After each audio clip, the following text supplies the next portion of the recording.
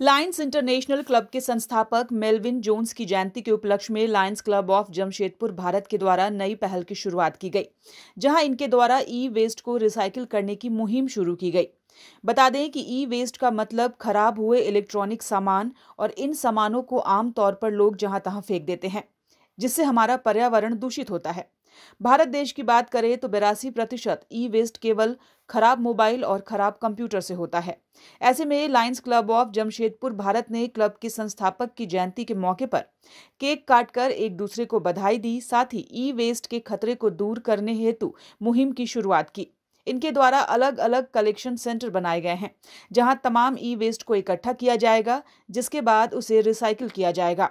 और जिनके द्वारा ई वेस्ट प्रदान किया गया है, उनके नाम से पौधारोपण किया जाएगा, ताकि हमारी पृथ्वी का पर्यावरण संरक्षित हो सके।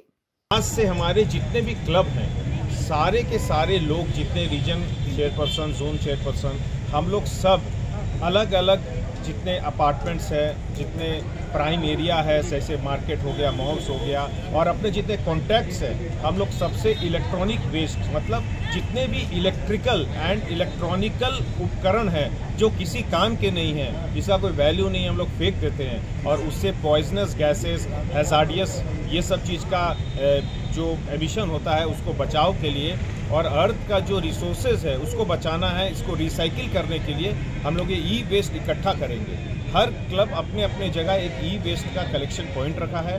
फिर वहाँ से हम लोग जमशेदपुर लेवल पे रखेंगे और जमशेदपुर से हमारा एक नेशनल पैन इंडिया बेसिस में एक एजेंसी हमने अपॉइंट किया है। वो एजेंसी आएगा और ये सारा कचरा उठा के लेके सारा को रिसाइकल करेगा।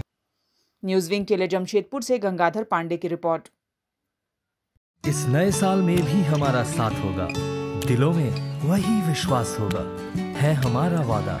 अब बनाए इंडिया को मज़बूत ज़्यादा। Wish you all a very very happy new year Delhi public school admission going on RTE से भी एडमिशन जारी है। सीसीटीवी से लैस क्लासरूम अत्याधुनिक लाइब्रेरी और लैब की व्यवस्था।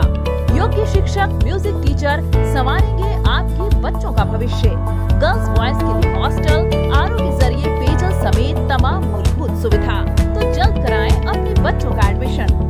public school.